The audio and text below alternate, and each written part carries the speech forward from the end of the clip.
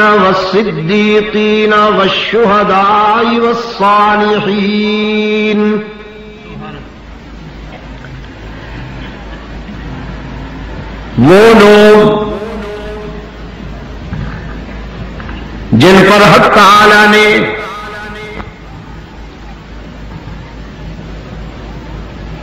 इनाम का अबरे करम बरसाया उनमें सबसे पहला तबका नबीजीन का है। फिर सिद्दीकीन फिर शोहदा फिर सालहीन। मुखफ़ कीजिए। पहला इनाम नबूवत को मिला। और नब, नबियों में सबसे बढ़कर अल्लाह ने अपने आखिरी रसूल इमामुल वल मुरसलीन। रहमत आलम सल्लल्लाहु अलैहि वसल्लम को नवाजा।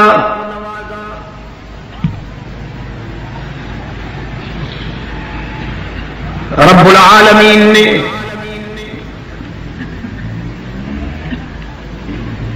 तमाम अंबिया और रसुल में जितनी नेमतें तकसीम की हैं, उन सब की रूह रहमत आलम सल्लल्लाहु अलैहि वसल्लम के दामन में आ गई।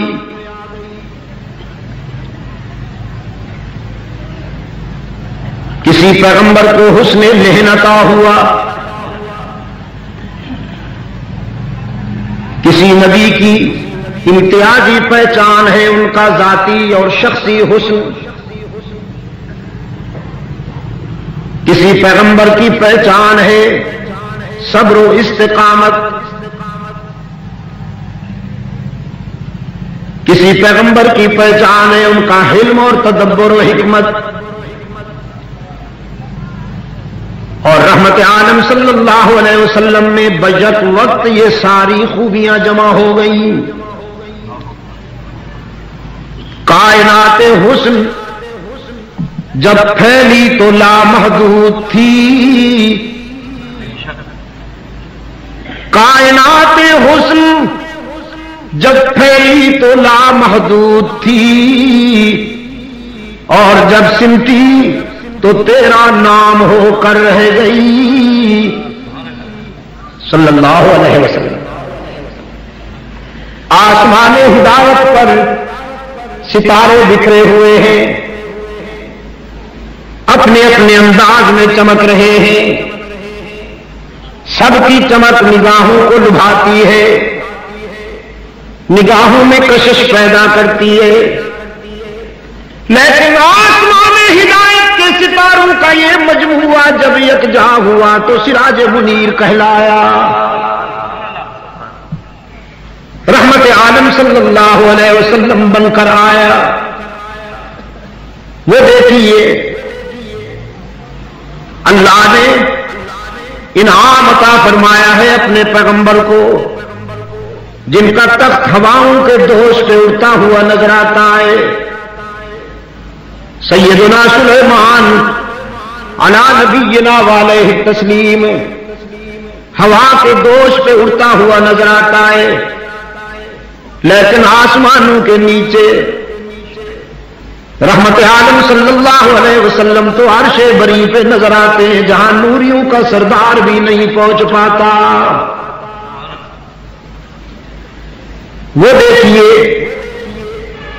अल्लाह ने इनाम अता फरमाया है इब्ने याकूब को अलैहिस्सलाम हुस्न अता फरमाया, जिसे देखकर मिस्र की दोशीदगी मबहूत हो गई मिस्र की दोशीदगी हाँ, बड़े घरानों की बेगमात लड़खड़ा गई। हाँ, सबसे बड़ी बेगम। जी अज़ीज़ मिस्र की बीवी। होश खो बैठी।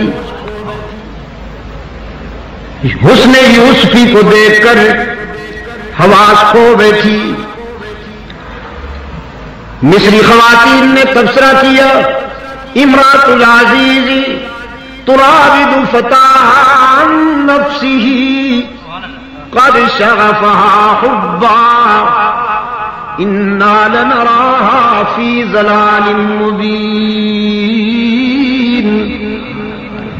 वकाल निस्वतुन फिल मदीना, इमरातुल अजीजी, तुराविदु फताहा नफ्सी, कद शगफहा हुब्बा, इन्ना लनराहा फ़ी जलालिम मुबीन।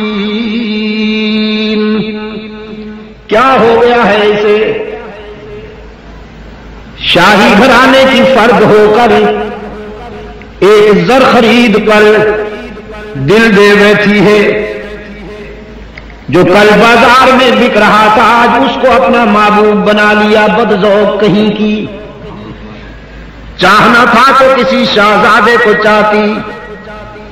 हमारा सर भी फख्र से ऊँचा हो जाता कि हमारी च्वाइस कैसे होती है, इसको देखो बदजौक को। बाज़ार में बिकने वाले को महबूब बना बैठी है। कुरान करीम ने फरमाया फलम्मा समियात बिमकरी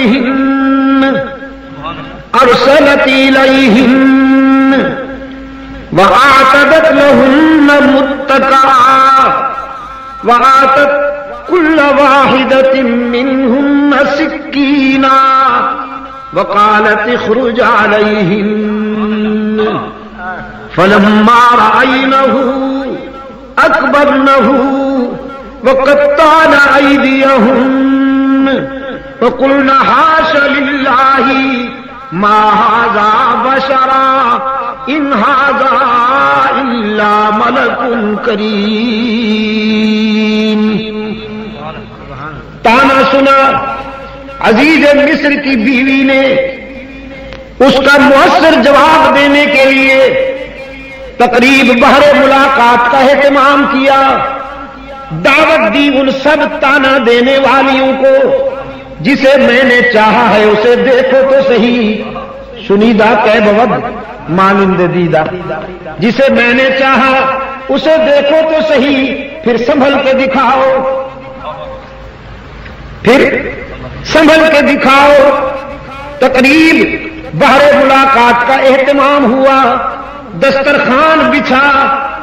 सारी मेजे की मारी हुई जिन्स इकट्ठी हो गई। और हाथों में सबके छुरियाँ दे दी गई हैं फ्रूट काटने के लिए।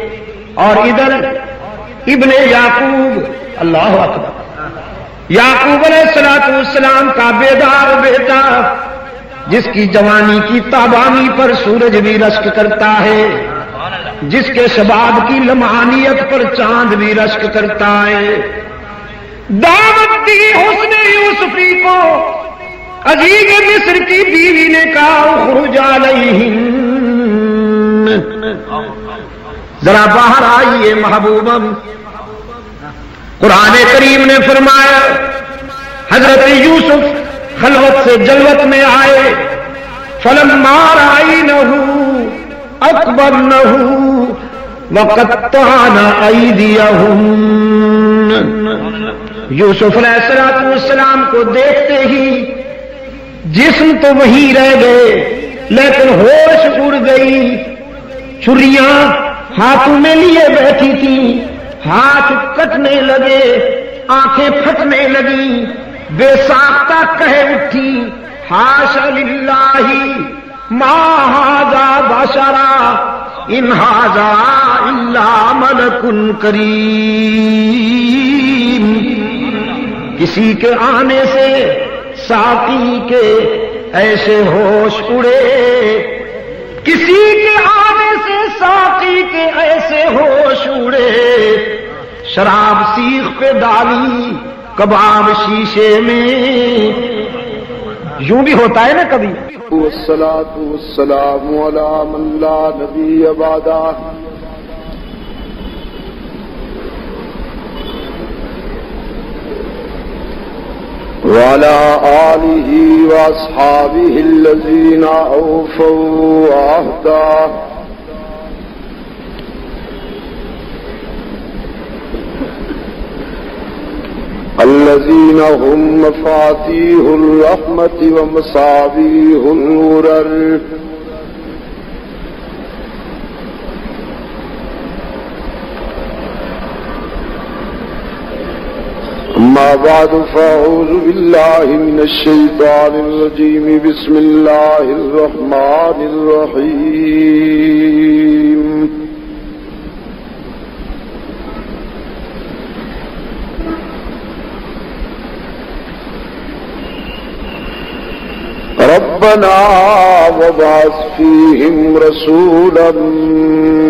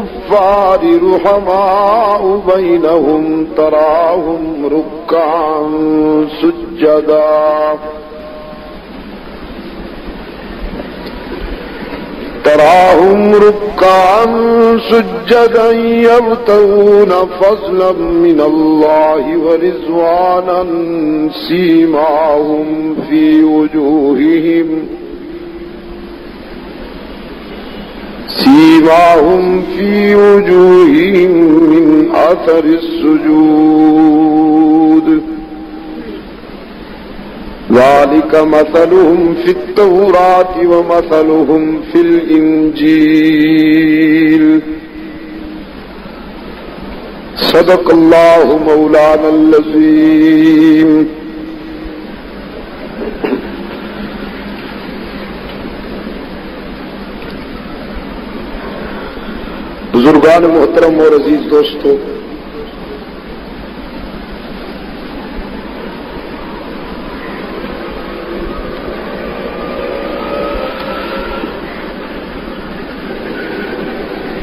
जुमा की निशिस्त का वक्त इतना मुख्तसर होता है कि तफसील के साथ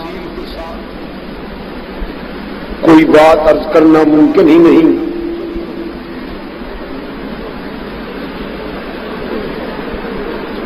और आप हजरात भी नमाज़ जुमा पढ़ने के लिए आते हैं। जार लोग आप पर तकरीर मुसलत कर देते हैं। बेजुबान किस्म के शरीफ लोगों पर इस तरह जबरी तौर पर तकरीर मुसलत कर देना, वैसे भी मैं समझता हूँ एक किस्म की ज्यादती की मद में आता।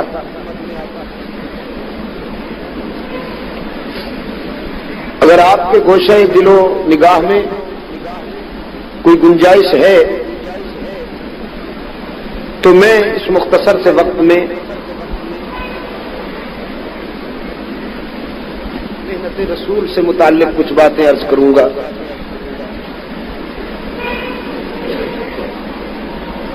इस जिमन में दो मकाम से मैंने किताबुल्लाह की कुछ आयात आपके सामने तिलावत की है। पहले हिस्से में खलील की आरज़ू पिन्हा है और दूसरे हिस्से में खलील की इल्तिजा और आरज़ू के मुताबिक अल्लाह की तैन और उसके अता का ज़िक्र।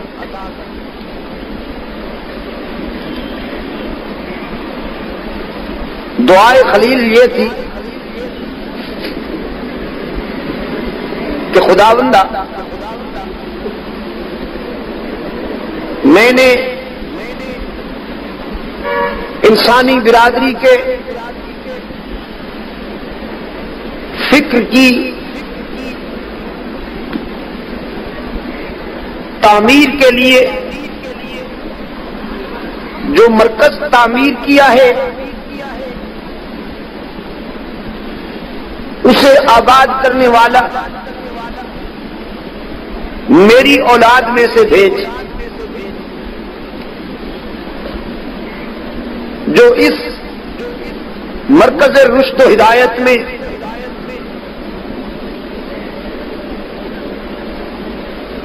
तेरे बंदू को कीमती बनाए।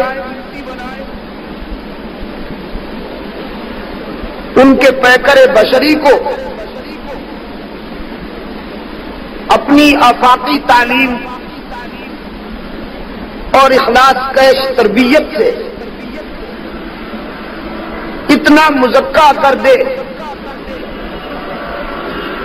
इतना मुसफ़ा कर दे कि रसूल के तैयार करदा इंसान। कयामत तक की नस्ल इंसानी के लिए मेजार बन जाए।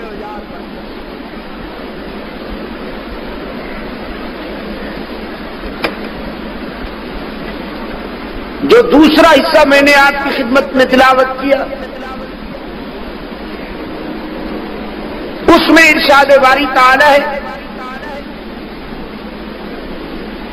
कि खुदा का ये बहुत बड़ा एहसान है कि जिसने दुआए खलील के मुताबिक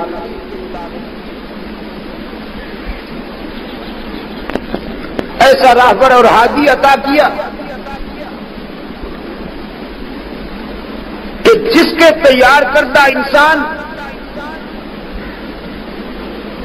इन खूबियों पर परखे जा सकते हैं जो अशिद्दाओ कुफार हैं, रोहमाओ बैनहुम हैं। रुकान सुजद यफ्तून फजलम मिन अल्लाह व रिजवाना है। उनकी जबीनें सजदों के नूर से चमकती हैं और उनके चेहरे अस्करी जलालत से चमकते हैं।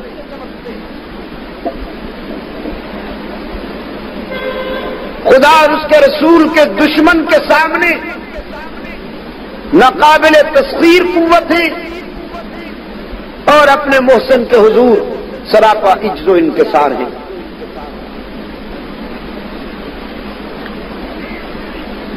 सहाबा, तवज्जो फरमाएँगे सहाबा क्या है? सरकार दो आलम सल्लल्लाहु अलैहि वसल्लम की तैयार करदा इमारत है जी। और आप ये जानते हैं कि इमारत इंजीनियर का तारुफ होती है।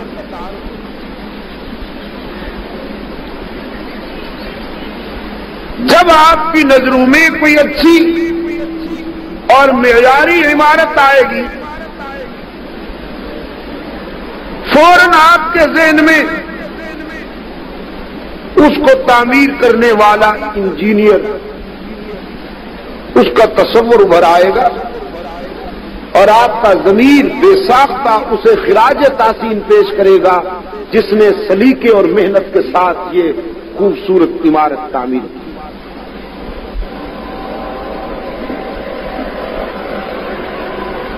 सरकार दो आलम सल्लल्लाहु अलैहि वसल्लम ने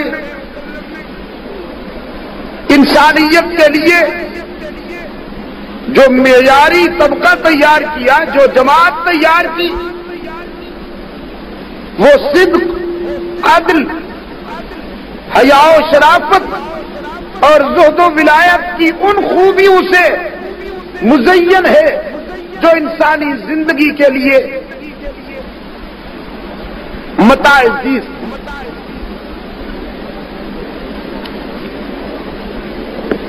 मुनाफिकीन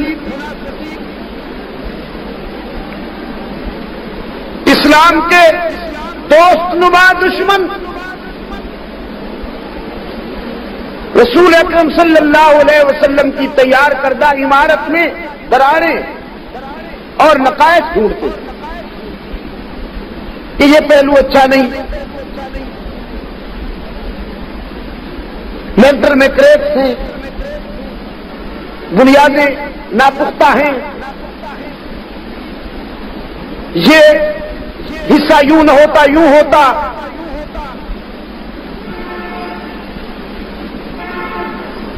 अगर तस्वुर में यह बात बिठा ली जाए कि इमारत की तरतीब सही नहीं है, बुनियादें सही नहीं है मटेरियल ठीक नहीं है तो नतीजा यही निकलेगा ना कि इंजीनियर अनाड़ी था। अनाड़ी था या बदनीयत था? ये दो बातें आएगी हर मुनसफ मिजाज इंसान के जहन में, कि बदनीयत था इंजीनियर, जिसने जानबूझकर इमारत का खाना खुआर किया। और या फिर अनाड़ी था, उसे पता ही नहीं था कि इमारतें बनाई कैसी जाती कमली वाले ने जो माशरा तरतीब दिया, सरकार ने जो सोसाइटी मुरतब की और जो जमात तश्कील दी, मर्द मोमिन का यह अकीदा है कि वो बिल्कुल सही है, काबिल रश्क। वो मेजार हक सदाकत है लेकिन मुनाफत कहती है कि नहीं तरतीब यूँ न होती, यूँ होती। इसकी बुनियादें खोखली हैं। इसमें फला नक्स है। असल जो उनका वार है, वो इंजीनियर पे। सरकार आलम सल्लल्लाहु अलैहि वसल्लम बड़े दर्द के साथ एक मकाम पे फरमाते हैं, अल्लाह अल्लाह की असहाबी, मेरे सहाबा के मामले में खुदा से डरते हुए तनकीद न करना कि ये मेरी हूँ। तो माली को ताना मिलता है, शागिर्द नाकाम हूँ तो उस्ताद शर्मिंदा होता है। इमारत गलत हो तो इंजीनियर का दिल दुखता है। जमात खराब हो तो लीडर शर्मिंदा होता है। इसलिए सरकार दो आलम सल्लल्लाहु अलैहि वसल्लम फरमाते हैं, मन अहब्बहुम अहब अहब्बहुम। मेरे सहाबा से जो मोहब्बत रखेगा, वो मुझसे मोहब्बत की वजह से रखेगा। वो मन अबगजहुम, और जो उनसे बैर रखेगा, फब बुगजी अबगजहुम। दर हकीकत उसके दिल में मेरा बुग छुपा हुआ होगा। मैं शायद कुछ और कहता, लेकिन दोस्तों ने मुझे पाबंद कर दिया कि मैं आपकी खिदमत में इबन हजर अस्कलानी का गुलदस्ता पेश करूँ। अल्लामा साहब मरहूम ने अपनी तसनीफ में बड़ा एक खूबसूरत गुलदस्ता पेश किया, जिसकी महक से ईमान हमेशा मुअत्तर होता है। और काश, कोई अहल खैर ऐसा हो कि जो इस गुलदस्ते को शाये करके कैलेंडर की शक्ल में हर सुन्नी के घर में पहुँचा दो। अल्लामा फरमाते हैं कि एक दिन रसूल अकरम सल्लल्लाहु अलैहि वसल्लम अपने गुलामों से इरशाद फरमाते हैं कि तुम्हारी दुनिया से अल्लाह ने मुझे तीन चीज़ों की मोहब्बत अदा की है। खुद मिन दुनिया कुल सलाद।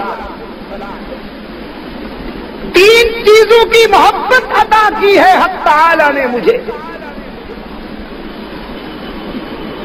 साहब किराम, रिजवानुल्लाह तजमाइन हम अतन गोश हो गए अपने आका के इरशाद को सुनने के लिए और ये मालूम करने के लिए कि हमें पता चले कि हमारे आका को कौन सी चीज़ें महबूब हैं ताकि हम भी उन्हें अपना आइडियल बना लें। पिशावर के बुज़ुर्गों और दोस्तों, ये तो आप जानते हैं कि महबूब की हर अदा पसंदीदा होती है। बशर्ते कि चाहत सही हो। चाहत में मुनाफत न हो तो महबूब की हर अदा पसंदीदा होती है। महबूब का लिबास भी पसंदीदा होता है। महबूब का रहन सहन भी पसंदीदा होता है।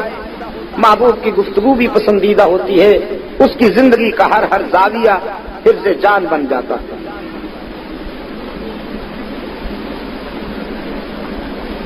सरकार आलम सल्लल्लाहु अलैहि वसल्लम फरमाते हैं कि अल्लाह ने मुझे दुनिया से जिन तीन चीज़ों की मोहब्बत दी है, उनमें से सबसे पहले फरमाते हैं वह तीन। खुशबू बहुत पसंद है मुझे। और मैं अहबाब से कहा करता हूँ कि सरकार फरमाते हैं, मुझे खुशबू पसंद है। और मैंने सीरत का मुताला किया, मैं इस नतीजे पे पहुँचा कि खुशबू को आका से इश्क था। हम वक्त मुअत्तर सरापा जिस गली से गुजरते हैं, वो गली मुअत्तर, जिस राह से गुजरते हैं, वो राहें मुअत्तर। ढूँढने वाले गली और राहों के तहत्तर से पैगंबर का पता पाते थे और राहें पुकारा करती थी कि अभी इस राह से कोई गया है, कह देती है शोखी नक्शे पाक।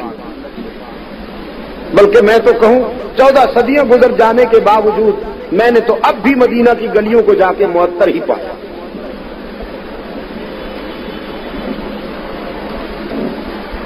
फरमाते हैं कि मुझे खुशबू पसंद है। सल्लल्लाहु अलैहि वसल्लम। दूसरे नंबर पे इरशाद होता है बलमरा तो सालिहा, नेक खातून पसंद। जिसके दिलो निगाह में वफा की अजमतें हों, जो इसमत और इफ्फत की देवी हो। रफी के ज़िंदगी से वफा करने वाली और उसके माल, जान, आबरू की हिफाजत करने वाली हो।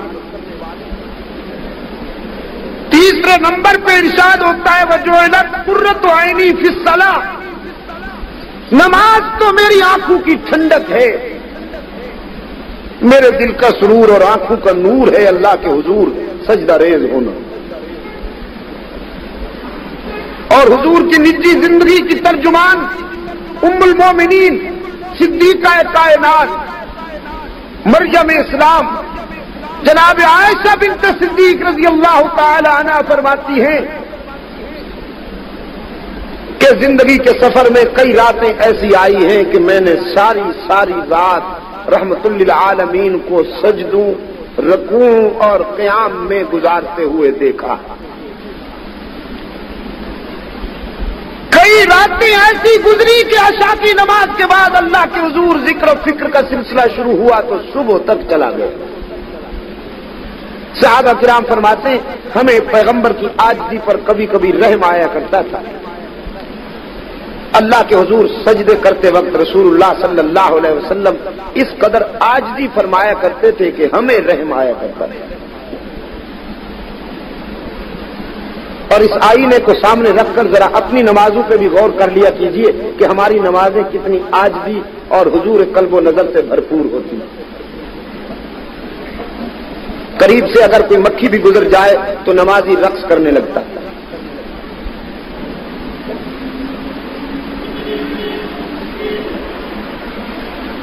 जनाब सिद्दीका रज़ी अल्लाह तला फरमाती है, एक सुख मैंने देखा कि पिंडलियों पे वरम है और पाए अकदस सूजे हुए हैं।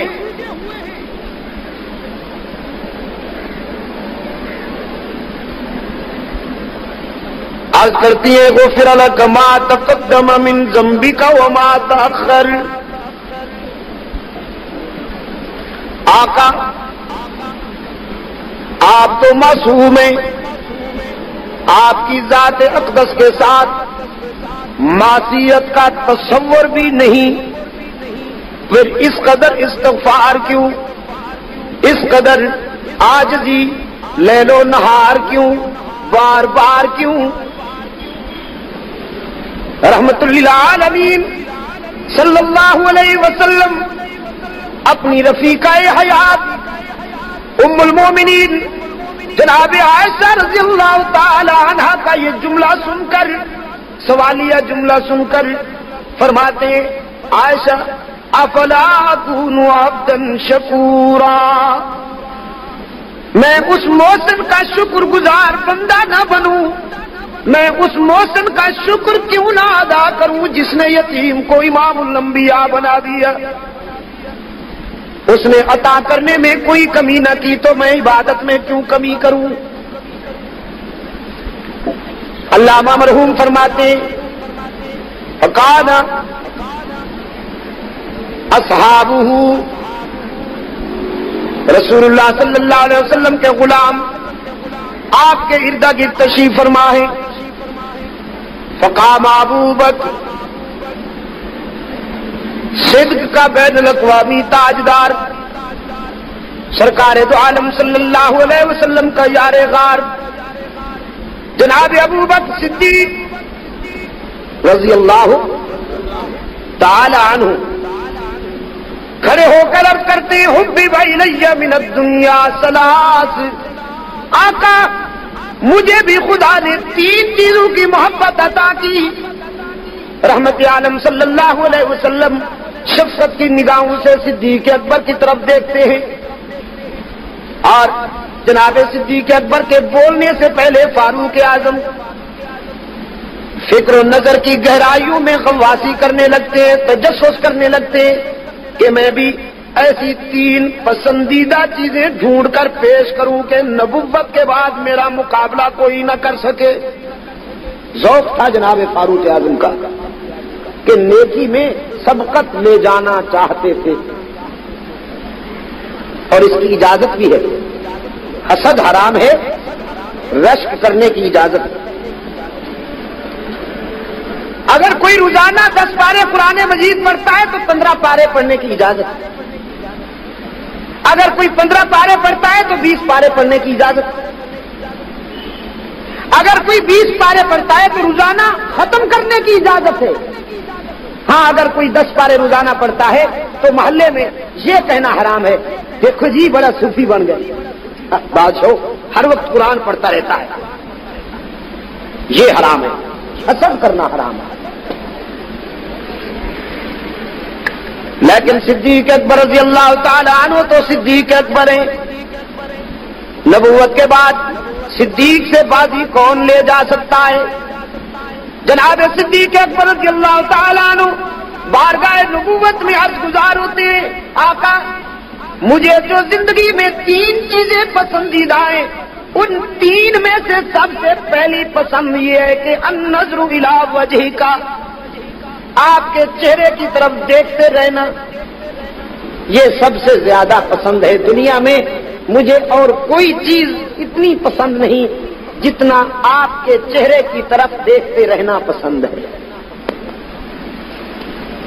पिशावर के दोस्तों आप मुझे बताइए कि इस सादत का कोई दुनिया की नेमत मुकाबला कर सकता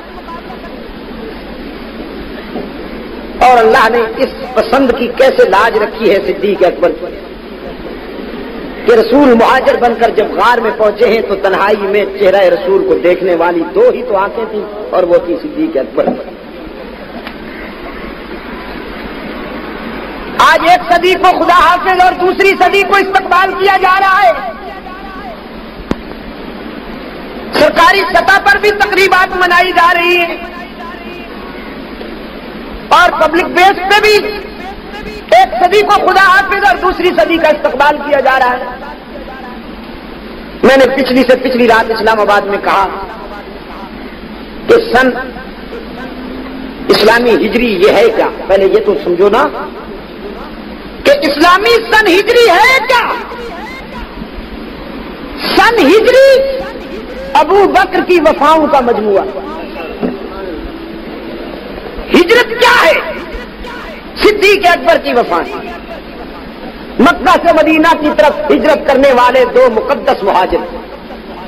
एक सरापा नबुवत दूसरा सरापा सदाकत। एक मरकज जजा और दूसरा मरकज वफा। एक में महबूबियत की इंतहा है, दूसरे में अकीदत की इंतहा है। एक सैयदुल अंबिया है बल मुरसलीन, और दूसरा अफजलुल बशर बादल अंबिया। आप इस्लामी सन हिजरी का उस वक्त तक सही मानों में मफहूम नहीं समझ सकते, जब तक मक्का की मक्का की सरजमीन से मदीना की तरफ़ हिजरत करने वाले उन दो मुकद्दस मुहाजरों को सामने नहीं रखेंगे। और मैंने तो तजवीज पेश की। आपके भी सोए हुए जमीर पे दस्तक देकर अर्ज़ करता हूँ खुदा के लिए। आप भी ये आवाज़ बुलंद कीजिए कि चौदहवीं सदी को खुदा हाफिज और पंद्रहवीं सदी का इस्तेमाल करते हुए ये ज़रूरी है कि अब जो हज़रत सिद्दीक अकबर का योम वफात आ रहा है उस मौके पर सरकारी तातील का ऐलान किया जाए और जनाब सिद्दीक अकबर का यौम शाया शान तरीके पर मनाया जाए ताकि इंसानी दुनिया देख सके कि हम अपने असलाफ के नमक हलाल पे हुए जनाब सिद्दीक अकबर रज़ी अल्लाह के यौम को सरकारी सतह पर मनाया जाए कि नहीं? कौन सा कसूर किया है सिद्दीक अकबर ने? कि इस मुल्क में बाकी सबके अयाम मनाए जाए? कता नज़र उन हस्तियों के, कि जो मुकद्दस हैं। मसलन यौम अली मनाया जाता है रज़ी अल्लाह तला यौम हुसैन मनाया जाता है रज़ी अल्लाह तला मैं इन मुकदस हस्तियों की बात नहीं कर रहा, वो तो हमारे जज्बात की तर्जमानी होती है। लेकिन इसके अलावा भी कुछ अयाम मनाए जाते हैं, ऐसे लोगों के, कि जिनका नाम लेना भी मैं अपनी ज़ुबान को जुमे के रोज कम अज कम पलीद नहीं करूँगा। तो सिद्दीक अकबर ने जुर्म कौन सा किया है कि उसका यौम न मनाया जाए मनाया जाए कि नहीं यौम भी जनाब सिद्दीक अकबर का सतह सरकारी सतह पर मनाया जाना चाहिए। और हमारे फौजी भाइयों को कौमी खिदमात के सिला में इशार और कुर्बानी के सिला में निशान सिद्दीक अकबर का तमगा भी मिलना चाहिए। ताकि हम एक सदी को खुदा हाफिज और दूसरी सदी का इस्तकबाल सही मुसलमान की हैसियत से कर सकें। अब अगर इन बातों से किसी का दिल दुखता है तो क्या ख्याल है? जनाब सिद्दीक अकबर का यौम मनाने से अगर किसी का दिल दुखता है तो? मेरे अज़ीज़ दोस्तों, जब कमली वाले ने अपने कदमों में उस मुकद्दस इंसान को जगह दे दी तो उस वक्त तो नहीं ये सोचा गया कि किसका दिल दुखेगा और कौन खुश होगा। जो खुदा के कुरान में मौजूद जो नबी के दामान में मौजूद, जो पैगंबर के फरमान में मौजूद। आज अगर हम उसकी अकीदत में कोई यौम मनाए तो ये एक मुसलमान की हैसियत से हमारा मजहबी फरीजा भी है और मिली ज़िंदगी का भरपूर इजहार भी है। यहाँ कुछ सरकारी मुलाजमीन मेरे दोस्त भी बैठे होंगे। मैं उनसे भी गुजारिश करूँगा कि जब सिद्दीक अकबर की यौम वफात का दिन आए तो आप दरखास्त दीजिए अपने दफ्तर में कि आज खलीफा राशिद अव्वल बिला फ़सल हज़रत सिद्दीक अकबर का यौम है, इसलिए मुझे छुट्टी होनी चाहिए। देंगे आप दरखास्त? चंदा ले रहा हूँ आपसे, यही दोगे दरखास्त? पहले यह पता है कि यौम वफात है कब?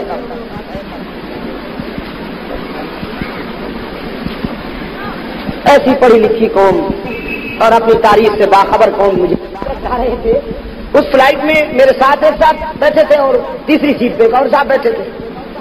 मैं जिस किताब का मुताला कर रहा था, दोनों समझ गए कि मैं कौन हूँ। वो किताब ने बता दिया ना। शेरों के इंतखाब ने मारूफ कर दिया। तो करीब वाले साहब तो मेरे अपने थे, लेकिन तीसरे नंबर पे जो बैठे थे, वो कोई और साहब थे। लेकिन वो थे कोई बड़े बाजों। दोनों के बच्चे साथ पे सफ़र कर रहे थे।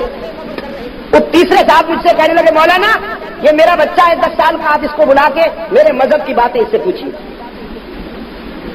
आप यकीन कीजिए, दस साल का बच्चा था, जब मैंने उसके मज़हब की बातें उससे पूछी है पर जस्ता और फिर बदी जवाब देता चला गया, बगैर किसी रुकावट पर मैं जो सवाल करता था, पूरी तरह तैयार और एतमाद के साथ उसने मेरे हर सवाल का सही जवाब दिया, अपने मज़हब के मुताबिक।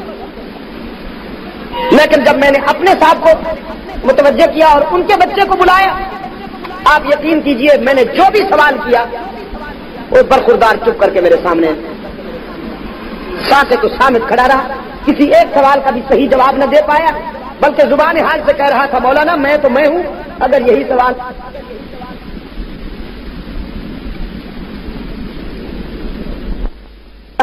किसी एक सवाल का भी सही जवाब न दे पाया बल्कि ज़ुबान हाल से कह रहा था, मौलाना, मैं तो मैं हूँ। अगर यही सवाल आप तेज़ी से करें तो वो भी चुप ही रहेंगे। छोटे मियाँ छोटे मियाँ, बड़े मियाँ सुबहान कुछ खुदा के लिए सुन्नी बनने की अपने अंदर कोई पहचान तो पैदा करो। क्या सुन्नी उसे कहते जो बैन अवी सुन्न हो? जनाब सिद्दीक अकबर रज़ी अल्लाह फरमाते हैं नजरू इला वजह मेरे आका, आपके चेहरा अनवर की तरफ़ देखते रहना मुझे बहुत पसंद है। वह इंफाक माली अला अमरीक,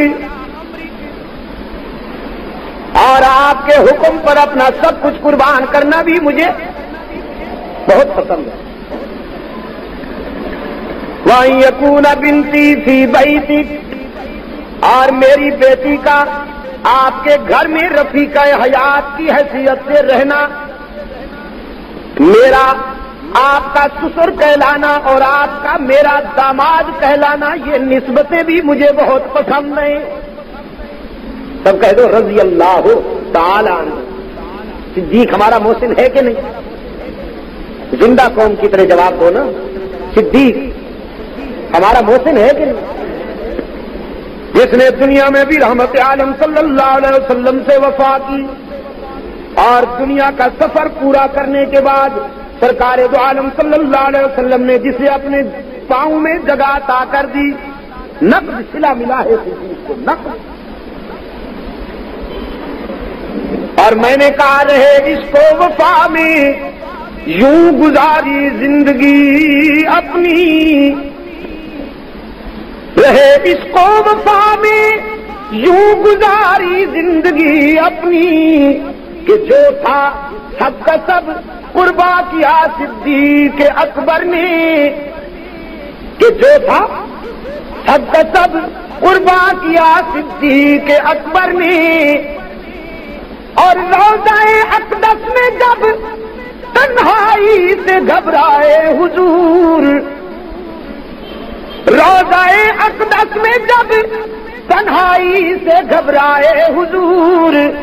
तो फिर से बदन का सामा किया सिद्दी के अकबर ने। तीन पसंदीदा चीज़ें। खलीफा राशिद अव्वल बिलाफत अमीर उलमोमिन हज़रत सिद्दीक अकबर रज़ी अल्लाह तला ने अर्ज़ की, फकामा उमर आबाद लोहुरियत का बैन अवी बादशाह, हज़रत फारूक आज़म उठे, फकाला अर्ज़ किया सदकता या बकर मेरे पीर भाई, तूने सच कहा, बहुत भी भाई लई अमीनत दुनिया सलाद। और फिर अपने उस्ताद कामिल की तरफ़ देखते हुए अर्ज़ करते हैं, आका, मुझे भी तीन चीज़ें बहुत पसंद है। रहमत आलम सल्लल्लाहु अलैहि वसल्लम ने फरमाया, उमर, बताओ ना, तुम्हें क्या पसंद है? अर्ज़ किया अल अमरू बिल मारूफ। नेकियों को फैलाना पसंद है वन्ना अनिल मुनकर बुराइयों को रोकना पसंद है वह सऊबुल खल्क और फटा पुराना लिबास पहनना पसंद है सिर्फ़ कहा या करके भी दिखाया कहने और करने में बड़ा फ़र्क होता है पिशावर के दोस्तों और करके भी यूँ दिखाया कि अपने कुर्ते पे दस दस पैबंद अपने कुर्ते पे दस दस, चौदह चौदह पैबंद। और पैबंद भी कपड़े पे कपड़े के नहीं कपड़े पे, चमड़े की टाकियाँ लगी हुई। और अपने गवर्नर के जिस्म पे भी मलमल का लिबास बर्दाश्त नहीं किया। इर्शाद होता था, ऐसा लिबास पहनो जो कौम से कम दर्जे का हो, ऊँचे दर्जे का लिबास बर्दाश्त नहीं करूँगा। फकामा उस्मान, अब हया और शराफत और सखावत का वो दरिया उठा। जिसके बारे में सरकार जो आलम सल्लल्लाहु अलैहि वसल्लम फरमाते, मेरे उस्मान को पहचानो, जब ये ज़मीन पर चलता है रूए ज़मीन पर चलने वाले उस्मान की कद्र पहचानो। ये वो इंसान है कि ये फर्श पे चलता है, खुदा के फरिश्ते अर्श पर उस्मान से हया करते हैं। रज़ी अल्लाह हो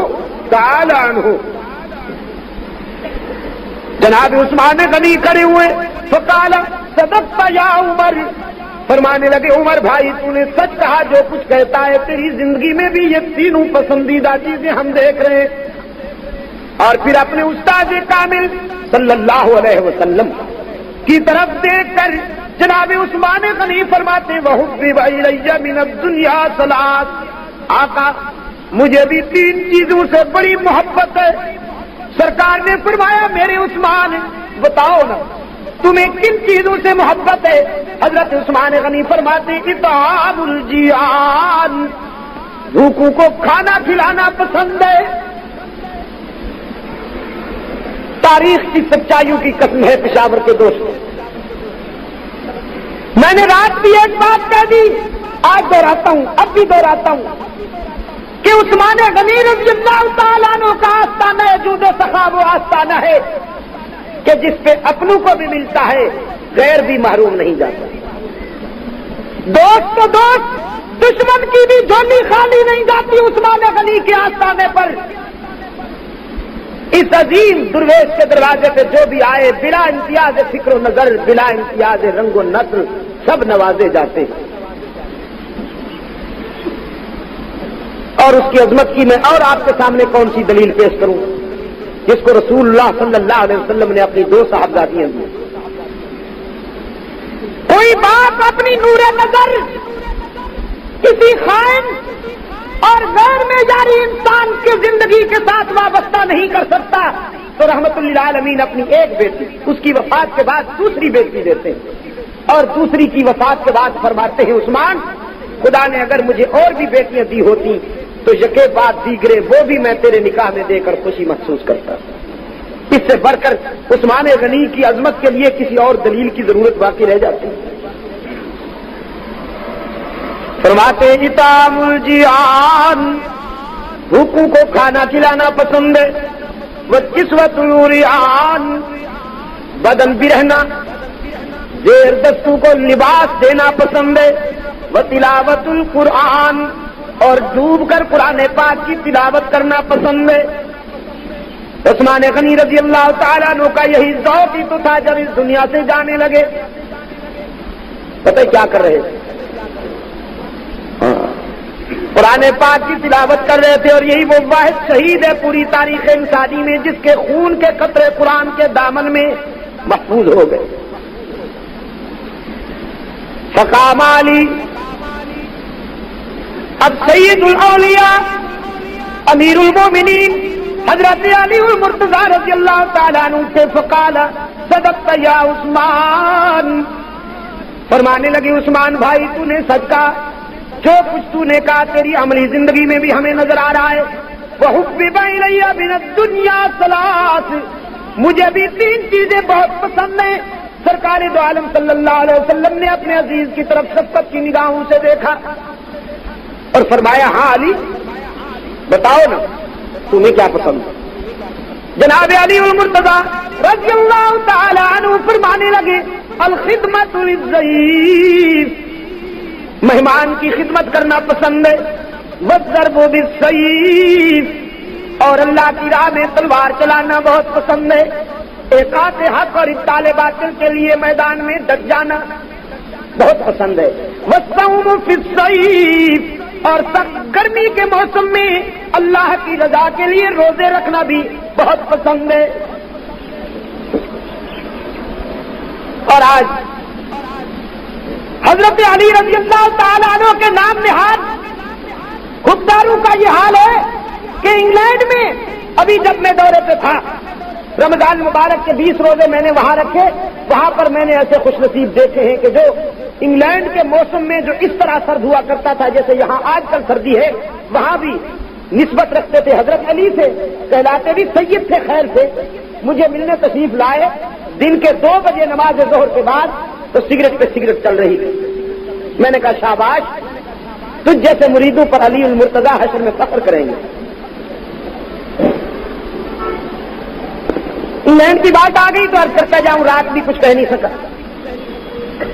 अल्लाह के फजलो करम के साथ यूरोप में रहने वाला मुसलमान आज वहाँ पर, आज से दस साल पहले की बनस्बत सूरत हाल बिल्कुल मुख्तलिफ़ है। मैंने वहाँ एक एक टाउन में दस दस मस्जिदें देखी। मैनचेस्टर के करीब एक छोटा सा टाउन है ब्लैकबर्ग बोल्टन और ब्लैकबर्ग वहाँ मुझे जाने का इतफाक हुआ। मुझे दोस्तों ने बताया कि इस एक टाउन में चौदह मस्जिदें। और वो मस्जिदें कैसी? आपकी सुनहरी मस्जिद यह चौक नमक मंडी की मदनी मस्जिद की तरह नहीं। वो अक्सर मस्जिदें चर्च है ईसाइयों अब आप ये सुनकर हैरान हो गए होंगे कि चर्च मस्जिदें हैं। तो जी हाँ इसलिए कि वहाँ चर्च मस्जिद खां रहते हैं कि ईसाई न रहे। चर्च चर्च ही मरसिया खां होते हैं, नहीं? वो मरसिया खां रहते हैं। इसलिए कि अंग्रेज़ की नई नस्ल मादा प्रस्ती की दलदल में इतनी दूर निकल गई कि मज़हब तो बड़ी शायद इंसानी शराफत भी उनका राह देखती। वो कहीं और दुनिया में चले गए। और उनके चर्च इतवार के रोज भी अपनों की राह देखते रहते हैं, कोई पूछने वाला नहीं होता उनको। जब वो बूढ़े हो जाते हैं तो फिर उनकी बोली लगती है, म्यूनिसिपल कमेटी के टाउन में। और जब वो चर्च बिकने लगते हैं तो इधर से मोहम्मद अरबी के गुलाम पहुँच जाते हैं। ये जाके उन्हें खरीद लेते हैं, उनसे घंटा उतार देते हैं, सलीबी निशान उतार देते हैं, उसको रंग रोगन करते हैं तर्क तब्दील कर देते हैं किबले का रुख मुतन कर देते हैं और फिर उसमें अजाने गूंजने लगती और इकबाल के उस मिसरे की अमली तस्वीर सामने आ जाती है कि दी अजाने कभी यूरोप के कलीसाऊ में और कभी अफ्रीका के तपते हुए सहाराऊ में। और इस सारी जद्दोजहद में जो मरकजी किरदार अदा करने वाले लोग हैं, खुदा के घर की अजमत की कसम खा के कहता हूँ कि वो सारे के सारे मौलाना मोहम्मद इलियास अलैह की जमात के रजाकार हैं, तबलीगी जमात के मुजाहिदीन। अल्लाह इन लोगों को जगाए खैर दे। कि अफ्रीका के खारदारों में और यूरोप के जगमगाते शहरों में यही वो मुजाहिदीन हैं जिन्होंने आज तबलीगी ज़िंदगी में इस कदर हरारत पैदा कर ली है कि अगर रफ्तार यही रही तो इंशाला यूरोप मुस्तकबिल में रहमतुल्लामीन के गुलामों के जेर नबी होगा। लंदन के करीब एक पूरा टाउन ईसाइयों का मुसलमान हुआ। पूरे का पूरा। ड्यूजबरी में मैंने देखा। ये आपने जो शाह फैसल मस्जिद बनाई है, अल्लाह आपकी खिदमत को कबूल फरमाए। यहाँ भी तो तकरीबन तकरीबन वही वही मिसाल सबकी आती है। अब आप, अल्लाह, आपको यह भी तोफीक अदा करे कि आप इसके तकाजे भी पूरे कर सकें। मैं ज़िंदगी में चाहता हूँ कि यहाँ पर एक पुरशको, अजीम शान और तारीखी मस्जिद तामीर हो जाए और वो मैं देख लूँ तो फिर उकबा का सफ़र हो। और ये आपके लिए कोई मुश्किल बात नहीं है। आप जब करने पे आए तो बहुत कुछ कर गुजरते हैं। ड्यूजबरी एक मकाम है ब्रेडफोर्ड के करीब। वो तबलीगी जमात का मरकज है, जिसको मैंने रैवन का नाम दिया है, यूरोप का रैवन वहाँ पर एक मस्जिद तेरे तामीर है, जो तबलीगी मुजाहिदीन अपने हाथों से बना रहे हैं। यूनाइटेड किंगडम के जो अमीर हैं हाफिज पटेल साहब, उन्होंने सुबह के नाश्ते में मुझे बताया कि इस मस्जिद की तामीर में कोई बैरूनी हिस्सा नहीं है। मिन जाने बिल्ला तावन हो रहा है। हम रोज़ाना का बजट बनाते हैं, शाम को कुछ न कुछ बच रहता और वो इतनी बड़ी मस्जिद है पिशावर के दोस्तों। थोड़े अरसे के बाद इंशाला वो तैयार हो जाएगी। जब वो तैयार हो गई तो उसमें बजट वक्त सवा लाख, डेढ़ लाख मुसलमान नमाज़ पढ़ चुके इसी तरह का एक अजीम उशान मरकज गलास्को में भी जेर तामीर है। और जज्बा ये है वहाँ, बाटले एक जगह है। इसी ड्यूजबरी के करीब, ब्रेडफोर्ड और ड्यूजबरी के दरमियान में है बाटले छोटा सा टाउन वहाँ मेरा जलसा था। मुझे तबलीगी दोस्तों की तरफ़ से हुक्म आया कि हमें अमेरिका की जमात के लिए इक्कीस दोस्तों की ज़रूरत है, जो चार चार महीने दें। तकरीर के बाद जब मैंने 21 दोस्त मांगे कि मुझे 21 अफराद चाहिए, जो चार महीने के लिए घर बार और बीवी बच्चों की जुदाई बर्दाश्त कर सके। आप यकीन फरमाइए, पूरा जलसा खड़ा हो गया। पूरा जलसा खड़ा हो गया और वो सब कहने लगे साथ साथ चार महीने क्या होते हैं? पूरी ज़िंदगी लिख लीजिए और जहाँ जीता है हमें भेज दीजिए। हम तो उसी के हैं और उसी के दीन ही के काम आना चाहते हैं। उन लोगों के लिए दुआएँ किया कीजिए, अल्लाह ताला उनकी मदद करना खुदा खुदाबंद आलम, उन्हें नज़र बद से बचाए। तो सैदना हज़रत अली मुर्तजा रज़ी अल्लाह तला फरमाने लगे, आका, मुझे भी तीन चीज़ें बहुत पसंद हैं। मेहमान की खिदमत करना, राय हक में शमशीर चलाना और शदीद गर्मी के मौसम में रोज़े रखना। बहुत अलामा साहब लिखते हैं सबाई ना हो। ये गुफ्तगु जारी थी। इर्जा जिब्राइल अरश बरी का नुमाइंदा फर्श जमी की इस मुकद्दस महफिल में आ पहुँचा। तो और अर्ज़ किया महबूब खुदा आपकी ये प्यारी प्यारी बातें जब फर्श पे हो रही थी तो रहमत किरदिगार अर्श पे झूम रही थी अब रबुल इज़्ज़त ने मुझे हुक्म दिया कि जाओ जिब्राइल उस महफिल में तुम भी शामिल हो जाओ मेरी भी तीन पसंदीदा चीज़ें बयान करके आओ और अपनी भी तीन पसंदीदा चीज़ें बयान करके आओ रूल अमीन ने अर्ज़ किया, आका, मुझे जो तीन चीज़ें पसंद हैं, उनमें सबसे पहली इर्शादुल्लालीन। राह गुम करदा लोगों को रास्ता दिखाना पसंद है। वमवान सतुल गुरबाइल कानितीन। गयूर और खुदा पे भरोसा करने वाले गरीबों से दोस्ती करना पसंद है। वो मुआमनत अहलिया मोसरीन और तंग दस्त कसीरुल अयाल जिनकी आमदनी कम और अयाल ज़्यादा हो, उनका ताउन करना भी बहुत पसंद है। रूल अमीन ने अर्ज़ किया ताला की तरफ़ से तीन पसंदीदा चीज़ें भी सुन लीजिए। रब रब कायनात ने फरमाया, मुझे अपने बंधु की तरफ़ से तीन चीज़ें बहुत पसंद है। और उनमें सबसे पहली चीज़ बदल इस्तिता जो अपनी जवानी और कुत को मेरी राह में खर्च करे। वो भी मुझे बहुत पसंद वो सब्र इंदल साता और अगर मैं आजमाने के लिए किसी को तंगदस्ती दे दूँ तो साथी में सब्र करने वाला भी मुझे बहुत पसंद है। और तीसरे नंबर पे फरमाया बलबुकादामा अपनी खताओं पे, अपनी कोताहियों और गुनाहों पे शर्मिंदा होकर रोने वाला भी मुझे बहुत पसंद है। अपनी खताएँ याद करके जो आँसू बहाता है, मैं उसके आँसू मोती समझकर अपनी दामन रहमत में चुन लेता हूँ। अल्लाह हमें अपनी खताओं पे शर्मिंदा होने वालों में शामिल फरमाए। सैयद उतायफ हज़रत जुनैद बगदादी रहमतुल्लाह अलैह का इशाद है। फरमाते हैं, जिसने सारी रात इबादत की हो, एक शाम पे खड़े होकर सारी रात अल्लाह अल्लाह किया हो सज्जे किए हूँ। तिलावत की हो। और सुबह होने के बाद लोगों को बताए कि थक गया हूँ। बड़ी इबादत करता रहा। मैं तो बड़ा नेक आदमी हूँ, बड़ा खानदानी हूँ। जानते हो मेरे खानदान को? बड़ी इबादत करता हूँ, सारी सारी रात जागता हूँ।